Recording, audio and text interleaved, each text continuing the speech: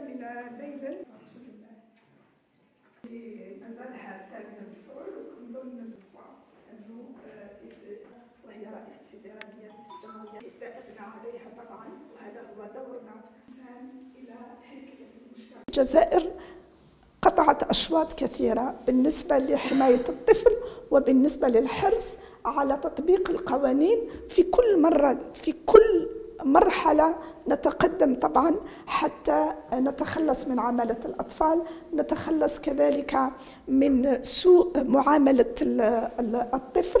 نتخلص من الكثير من المشاكل التي تعترض نمو الطفل لأن الطفل له حق حق اللعب حق الدراسة حق أنه يعيش في عائلة.